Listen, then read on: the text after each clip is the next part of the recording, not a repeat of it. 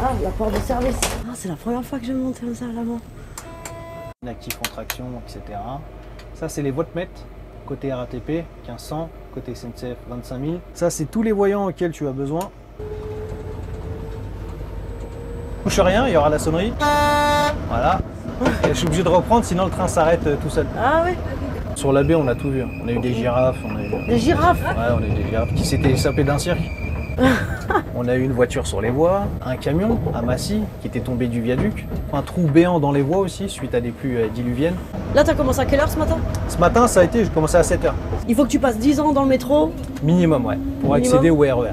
Au métro, euh, si on fait un après-midi, le soleil se lève sur les coups de allez, 8 heures, on a 3 Ouais. heures de, de soleil quoi. Ensuite on rentre sous tunnel, on ressort, il fait, il fait nuit. hein. Hmm. Tous les ans on a un coup près au-dessus de la tête pour celui qui a une petite pathologie ou quoi que ce soit. Du jour au lendemain il peut être euh, viré des, des trains quoi. Mm. Le service médical c'est pas de la médecine préventive, hein. c'est vraiment de la médecine de sanction. C'est soit t'es apte, soit t'es pas apte. Euh, la nouvelle réforme des retraites là, c'est que plus on repousse, plus on est soumis à des pathologies, ça a un impact direct justement sur l'exercice de notre métier quoi. On peut prétendre à partir à 52 ans. Personne ne peut partir à 52 ans. Ou alors on a une pension à des pâquerettes. quoi. Entre euh, 35 et euh, allez, euh, 45% du dernier salaire, ce qui n'est pas énorme. C'est pour ça que personne ne part à 52. Ils aiment bien dire dans les médias qu'on est à 75% du dernier salaire, ce qui est complètement faux. Pour avoir 75% du dernier salaire, il faut avoir fait ses 43 annuités à la RATP. J'en ai jamais connu un qui avait ces 43 annuités. Ah, là, on a 110. Plus. Sur Castex qui arrive, il nous a octroyé une augmentation de salaire qu'on n'avait pas connue depuis 20 ans. Et on sait très bien qu'une fois que les JO seront passés, ça va plus être la même Bah, histoire. ouais.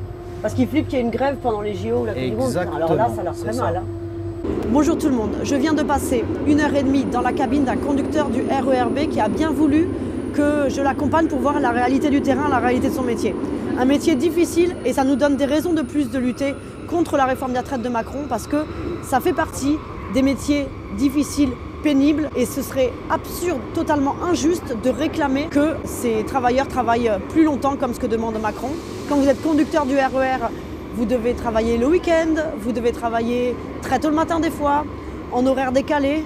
Ce sont des conditions de travail très très très difficiles. C'est loin d'être des privilégiés, contrairement à une petite propagande qu'on entend régulièrement. Donc euh, nous sommes aux côtés des conducteurs du RERB dans la lutte contre la réforme des retraites de Macron.